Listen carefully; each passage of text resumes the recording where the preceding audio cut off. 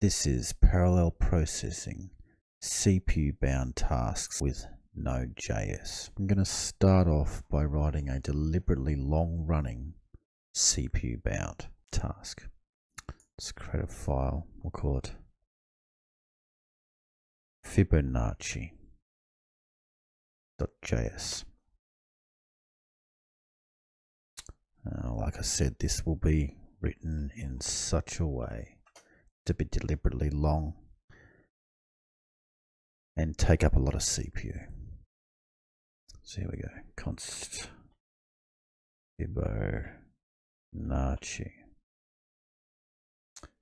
equals n.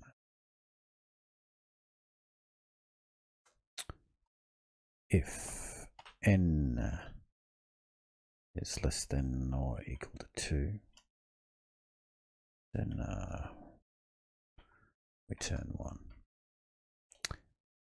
Else, return Fibonacci n minus 1 plus Fibonacci n minus 2. Just say n minus 2. Now there we go. That's it. Console.log Fibonacci 20, for example. Let's try this out. A node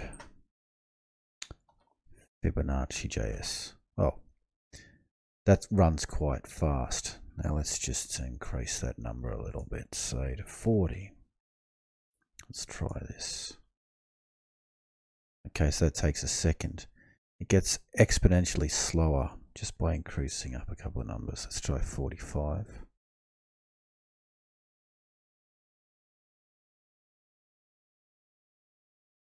Well, we can see that's even slower.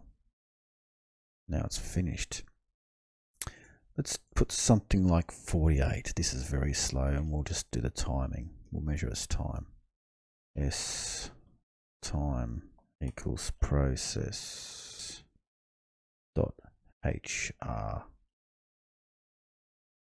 time. Ah, there we go.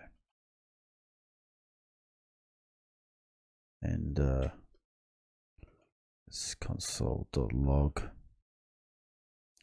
process dot hr time s time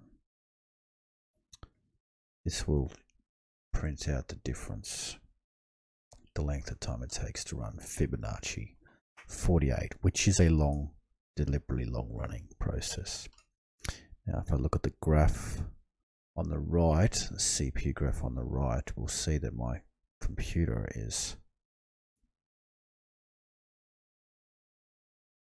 locking one CPU at a time.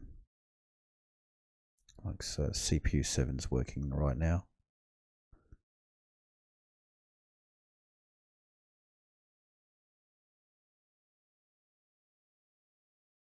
There we go, it's finished. That took 28 seconds to run Fibonacci 48.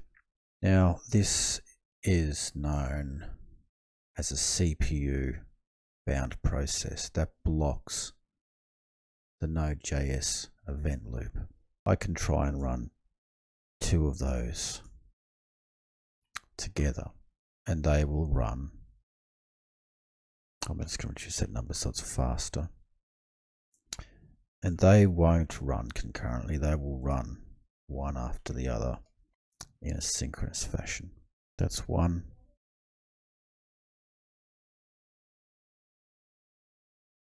That's two. If we look at the CPUs up here, only one CPU is being used at a time. I want to run multiple processes and I want to use all the CPUs. I could try and trick it, Node.js, to start a process inside an IO event such as set timeout.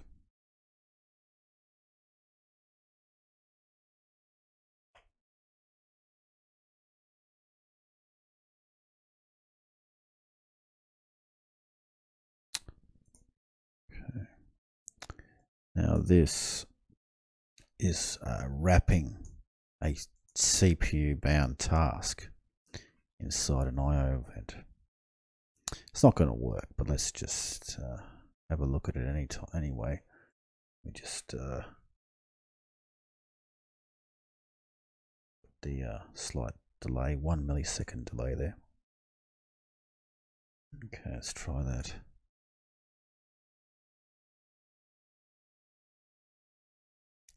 Well, it's printed the time differences, but it's still running the processes, and they're still being run uh, synchronously. There we go. Anyway, that's uh, that's no good. Let me show you how to do this. First of all, though, I'll just uh, get rid of this bit here and get rid of uh, those 2D things down there. Create a new file. I'm going to call it app.js. Uh, Excellent. And in that file, I'm going to import well, const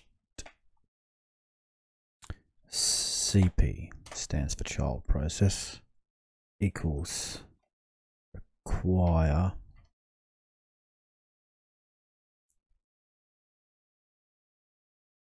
child process. Looks good. Const. Process one equals cp dot fork. Fibonacci Fibonacci dot JS.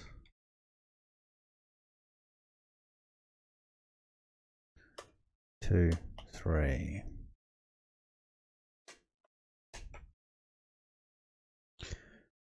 Let's uh, create a fourth.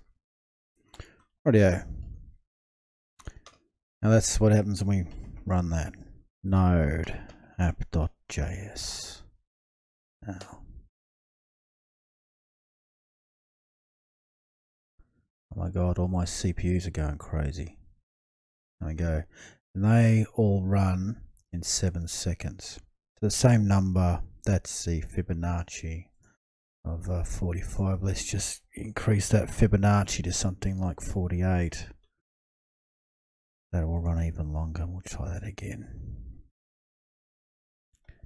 Clear. Okay, so this is multiple CPU bound tasks running concurrently.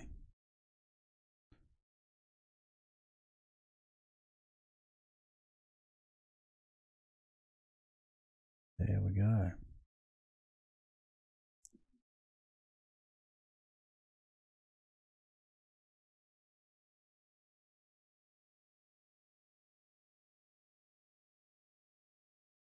There we go, so that took 30 seconds. 48 is a pretty large number. Let's have a look what doing one at a time takes.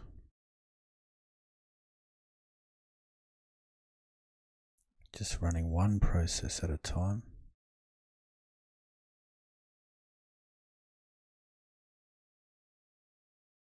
Fibonacci 48 over here on CPU 7 there. Running full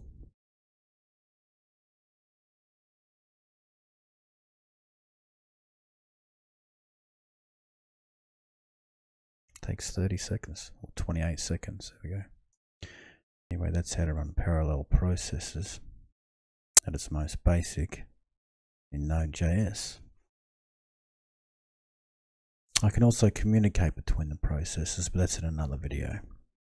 So thanks for watching. Like, comment, subscribe, and share.